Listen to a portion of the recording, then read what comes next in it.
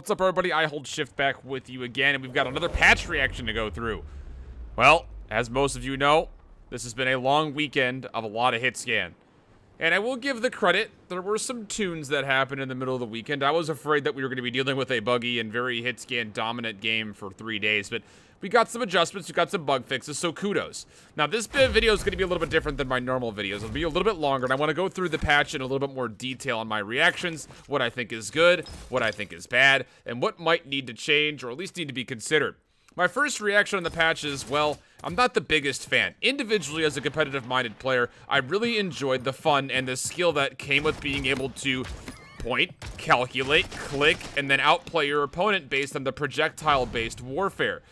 This patch has just turned into a point-and-click adventure. Most notably, with the auto rifles, burst rifles, and SMGs, it's turning into a hold mouse 1 adventure. The revolver has been a lot of fun, I will say that much, as you'll notice in the very beginning of this game. I use a lot of it because it's purple, first of all, and headshots hit for a ridiculous amount. That thing is a freaking hand cannon. But I do very much so miss the projectile-based gameplay that we had. Yes, it was a lot of poke and peek, poke and peek, poke and peek. But it's, uh, I don't know, I just liked it more than what I'm getting now, which is just Run at your opponent, hold W, hold mouse 1, and then if you get the DPS done more than your opponent, you win the fight. So I, I, I don't know. I'm, hit scan, I, you know, I get it. I'm to go with the rest of this video. I'm just to let you know.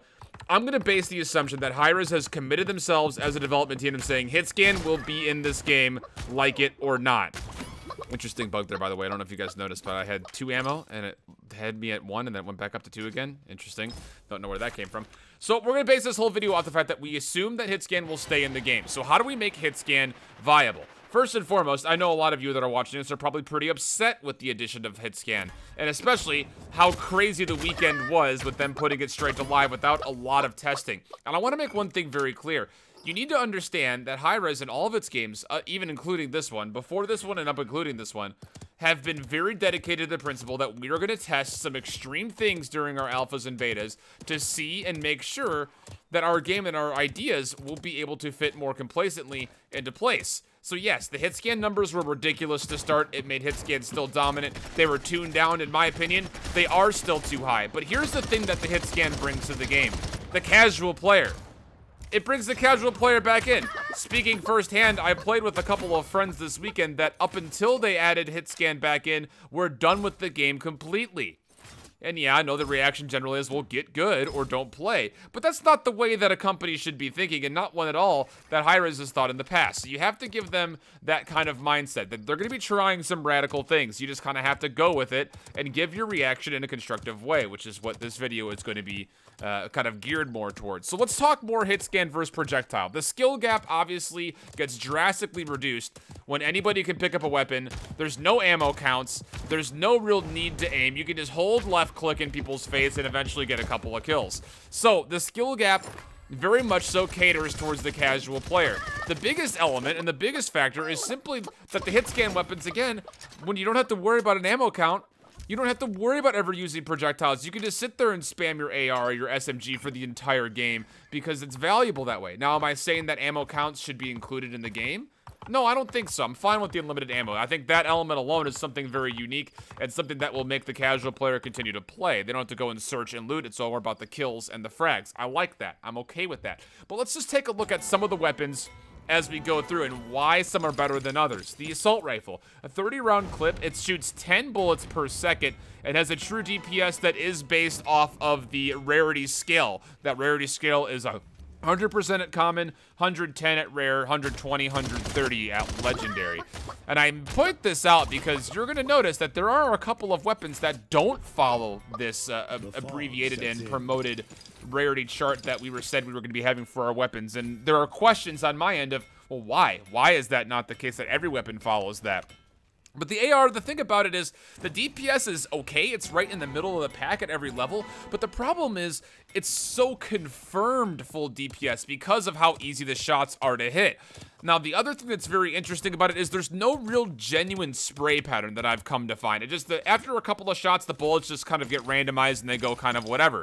And with the limited ammo, and the length of the clip size, it literally turns into just hold M1 and hope and pray that your bullets connect more than your opponent. I don't like this. I don't like that because I would rather have there be a dedicated spray pattern that people who are committed to getting better at the game can learn, adjust, and make sure that the effective DPS of their weapon and their fights go up because of it, not just hold down left click, hope my shots connect more than my opponent, and then either win or lose the game based off of it. Now, the second weapon, the burst weapon, the burst rifle, the bloom between the three rounds is actually pretty okay. I actually kind of enjoy that little bit of a spread and having to pull the mouse down to try to hit all three shots. The problem is the DPS is still extremely high. It's 1680 at very at the very highest at legendary category. Even at the common values, if you're hitting all three shots confirmed over a second, you're going to be getting 1320 damage. That's in two full bursts. It shoots two per second. 660 per full burst. So if you're in someone's chest and you put two rounds into them, two burst rounds into them, that's a win right there.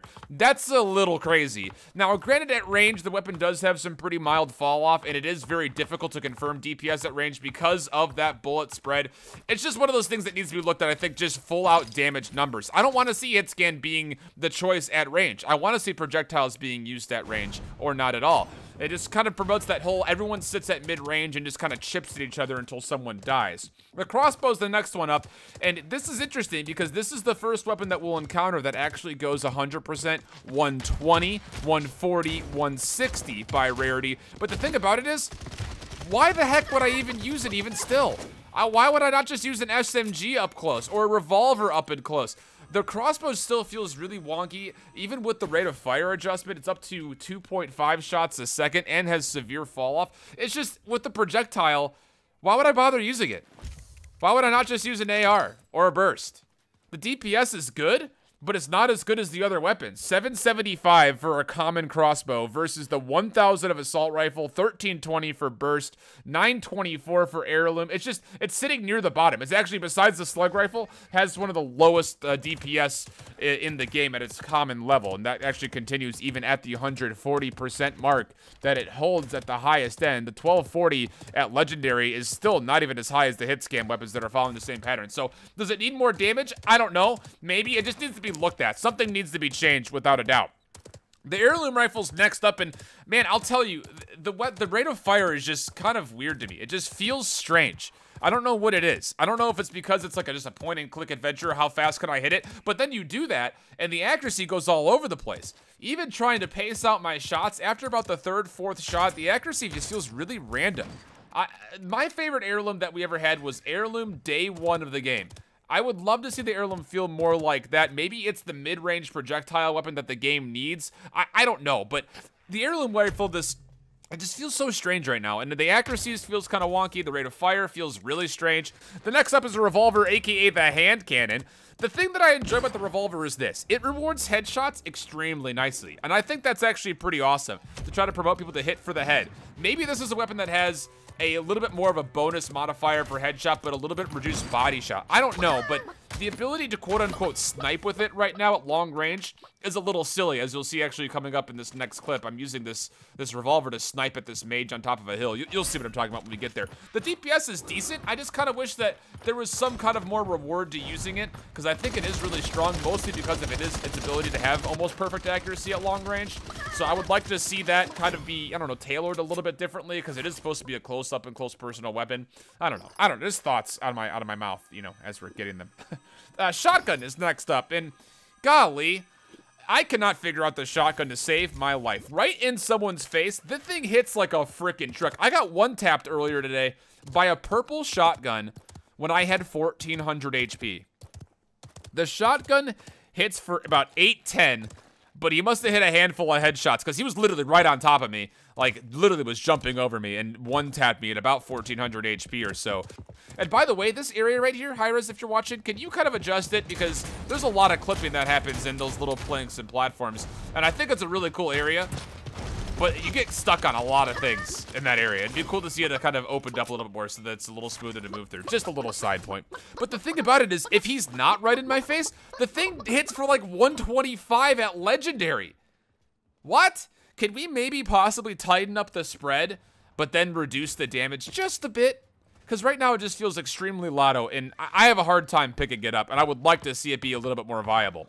The slug rifle, speaking of viability, is actually extremely viable, as you'll see in these uh, these clips coming up. The long range poke, I love. I love that it actually hits for the damage it hits for. I think that its time to kill actually feels the best out of every weapon right now, and would I would like to see the other weapons kind of get in line more with where the slug is. The headshots are still rewarding, the projectile speed feels good, its accuracy at range feels good, it's hitting right where it should. This should be your long range poke weapon. Up close and personal, the rate of fire really isn't high enough to win a fight against an SMG, and that's fine. I think that's good. I just think that it needs to be that long long-range poke weapon, and right now, I, this is probably the best feeling gun in the game, I think, just overall. SMG, speaking of, let's get into it. This gun has an increase of rarity level by 18% instead of 10%. That means 156% bonus damage right now between common to legendary. I don't know where these numbers came from, and I'm interested to get a take of why the numbers are as they are, because the thing is still melting people. Here's the thing about it. I think if this weapon goes down, to just the 10, 20, 30% increase for rarity, I think it's fine.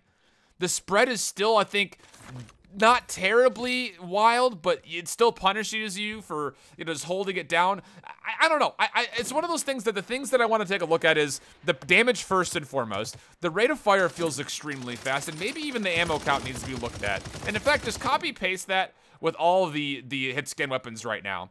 I, I, I will get to that a little bit later in a minute here. And let's just talk about the sword for a second. I only got two letters for you. XD. The sword is just so bad, especially with all the hit scan being used right now. The hit detection on it feels terrible. I don't know what's going on with it, but I had a couple of sword plays earlier today that were not connecting at all while I was right in front of somebody. I would have rather have had my knife. I don't know what happened to it, but the fact of the matter is, with all the hit scan in the game, the sword is just not good whatsoever. Let's finish this out real quick, shall we? Uh, so hit scan, reducing the skill gap for sure. But here's the thing. If we can change up some of the values, I think, in the damage, but also the rate of fire and the ammo size, let's force people to add a new element of skill into their gameplay, if this hit scan does stay, which I assume it will. That area, swapping weapons.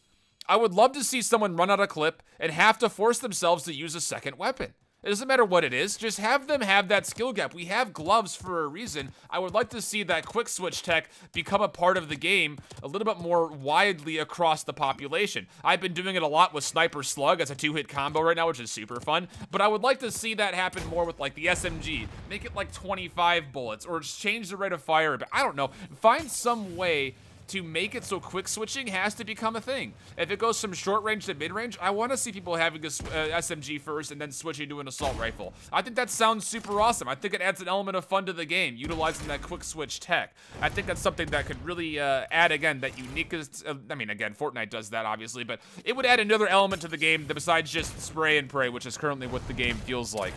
Legendary weapons as well, uh, well have become extremely unvaluable simply because of the hit scan DPS more than anything else. The only two weapons that are worse right now at the legendary level is the slug and revolver. And even still, the accuracy, because it's so good, it's actually con the confirmed DPS of those weapons still makes them more viable than every other legendary weapon on the table, with the exception of the sniper rifle. That is literally the only weapon right now that I think is worth crafting. And if you're crafting your other weapons, if this patch stays as it is, you're probably making a giant mistake because the DPS is just not even comparable. Uh, but here's the thing if you take a look at these hit scan weapons and the damage, the rate of fire, the clip size for all of them are taken down, I think the legendary weapons become a lot more valuable, without a doubt. I mean, the Stone Spear had a lot of value for a while. Actually, it had too much value for a while, but now it's just like, why would I use that burst over the burst of the burst rifle? I, I wouldn't. This is actually what it comes down to. So I think those need to be looked at. Things like the sniper rifle reload time maybe needing to be increased a bit since it is taking two and a half to three shots if you're hitting headshots or not with the sniper rifle. I think the hunter it needs to get some kind of a drawback increase, uh, just flat out with the bow. It just takes too long to pull back. And then everything else is just kind of is what it is. It's just the fact that the hit scan weapons are so good right now. Uh, let's talk about the classes, though. Obviously, right now, the Warrior is by far, I think, the best choice, simply because of the mobility uh, of the class, his ability to get in and out. I mean, all four of his uh, his kit's abilities are incredibly good, just because the hit scan, again, can shoot you down so fast, so the extra shield is great. Otherwise, even the legendary healing is fine, because if you do get into that green, that area into your health pool and you have an elongated fight, at least you have a chance to heal yourself back up. And of course, you can, can't deny the charge and the heroic leap. Uh, the assassin really only has the only viable legendary weapon because of the lack of range poke with the exception of the slug rifle. So the sniper rifle, of course, is valuable there. Uh, but here's the problems with the other classes. Engineer, can we please, please make him a little bit more difficult? No, not having self-damage on the firebomb is actually getting a little ridiculous for my, for my taste. There's way too much self-spam. People throwing up a shield, throwing a firebomb on top of themselves when you're fighting them, and then just taking out their potion launcher and shooting at their feet. It's not fun. There's nothing fun about it. Doing it is not fun. Playing up against it is not fun. It's just kind of silly. The mage, wow. Let's just talk about mage for a second. Can you get some actual abilities for the mage? That'd be awesome. The wall and the catalyst are just absolutely, I think, at the most worthless level right now. That's really, if you're playing mage, you're just hoping and praying you get the big three in your legendary, the sword, the fireball, and the ice block. The wall just doesn't feel like it fits. It's too easy to get around. The catalyst, it doesn't really slow for that much. The damage is underwhelming. I don't know. Hunter, I think Hunter is probably the worst class in the game right now simply because of the bow not being all that viable. But the biggest thing is the Hunter doesn't have any vertical mobility and everybody else does. Can we give, like, Hunter, like, the Vine ability, like that Grover has, or something? I don't know. Something. The Hunter needs something. The abilities, I think, are fine. It's just the lack of vertical mobility. And then, how about, speaking of Hunter and Assassin, can we switch their passives? It doesn't really seem to make sense that the Hunter has the bonus uh, reload and swap speed when all you're doing is using your bow, when the Assassin needs that. And on the flip side, does the Assassin really need the bonus movement speed? I don't know. I don't think that's the case. But regardless, that's been it for me. I hope you guys have a good one. This has been a reaction video. And again, there's a lot of things that had to be considered.